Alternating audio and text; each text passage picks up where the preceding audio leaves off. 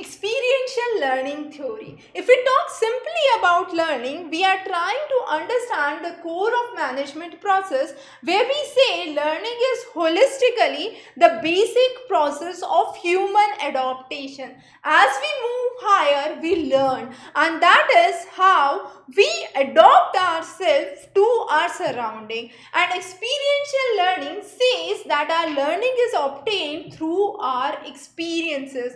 The more we experience, the better we learn. Now, what all are included under the ELT theory or the experiential learning theory is first the entrepreneurial uh, learning if you want to be an entrepreneur what kind of learning is being required? The next is the strategy formulation. What strategies you would require? The third is creativity. The fourth is problem solving. The next is decision making.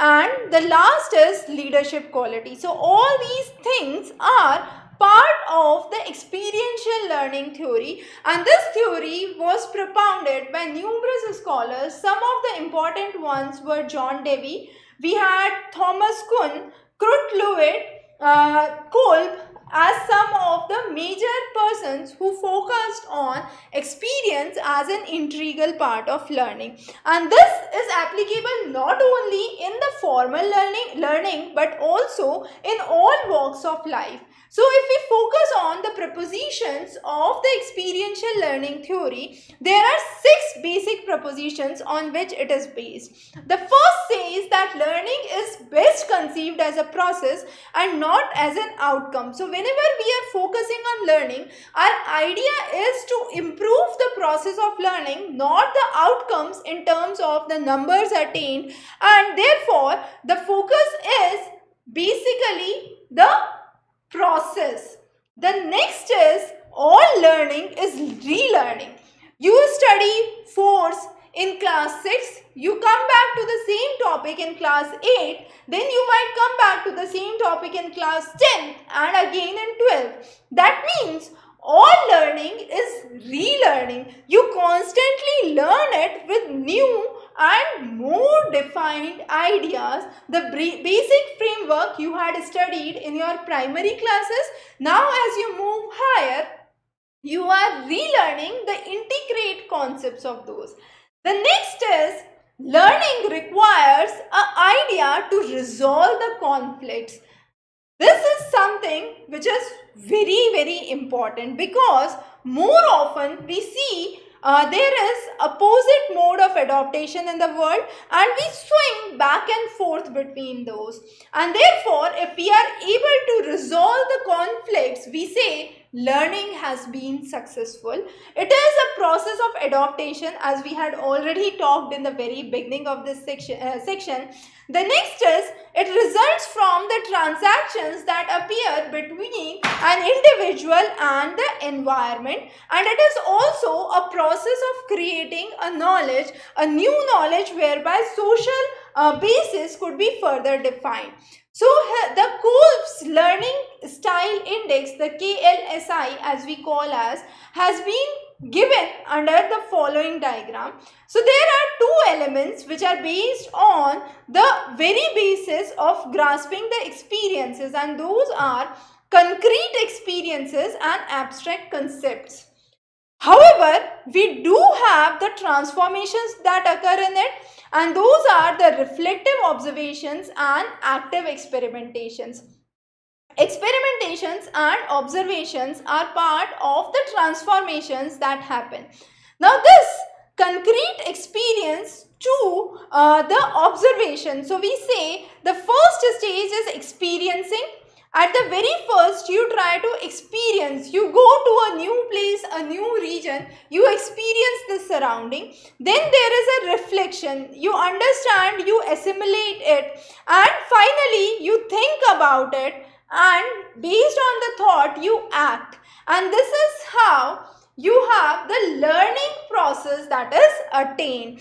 Now, all of these four elements have been very very important. As it starts with concrete experiences what would happen as an immediate action between the concrete experience and the reflective observation there is diverging style. Now what is diverging style?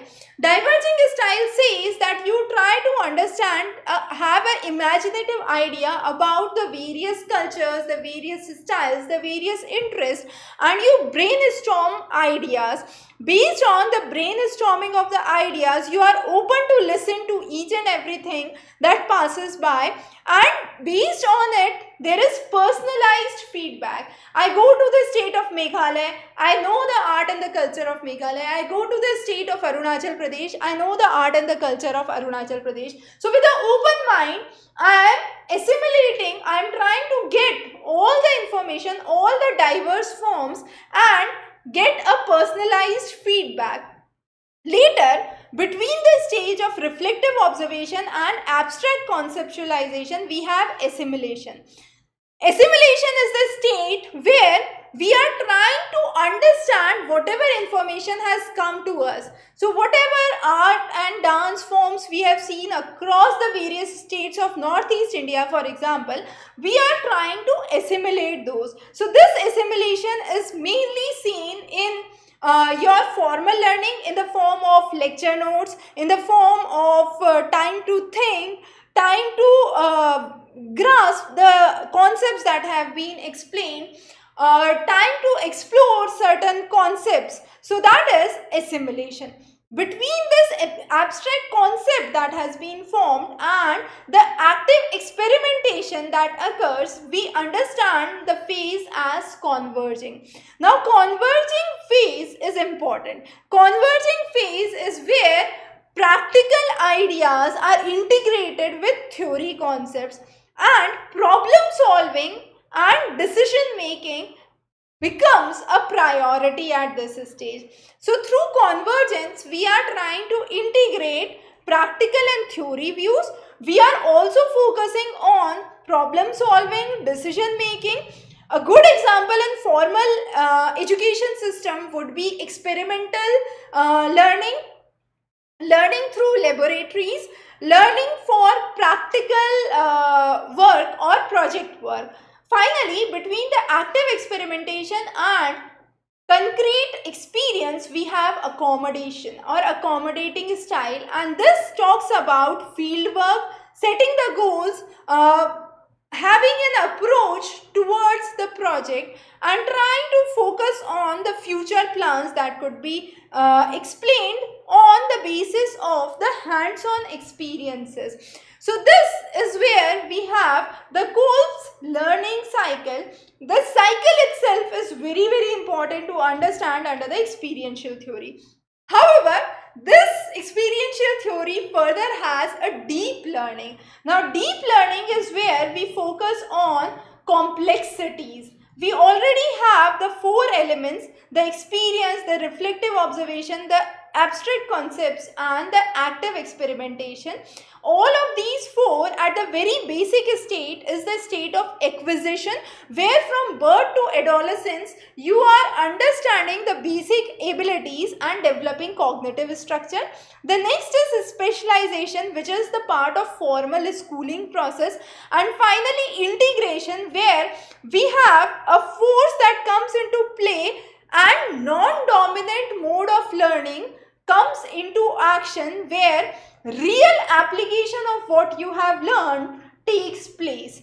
So this is integration. So the three stages or the process of development with increasing complexities we would say is acquisition, specialization and finally integration of the knowledge. Now this development process when we say there is experience, concrete experience, the concrete experience is based on affective complexity. The reflective observation is based on perceptual complexity. The abstract conceptualization is based on symbolic complexity. And finally, the active experimentation is based on behavioral complexities. So, all these four complexities together are forming the process of learning or enhancing the process of learning. As already said, we first of all experience, then there is reflection, finally thinking and acting. If the first two that is experience and reflection are into play, we call this as registrative. So we are registering what has been explained to us through these two steps, experiencing and reflecting.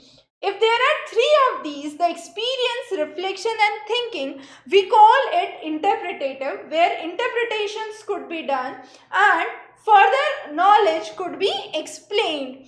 Finally, if all four of those are involved, this is what is called as a integrative learning. So again, the three components of deep learning are registrative, interpretative and integrative. Registrative involves only two bases, interpretative three bases and integrative all the four bases of learning. So that was about the experiential learning theory. We would be covering many more interesting lectures for you. Stay tuned. Have a wonderful day ahead.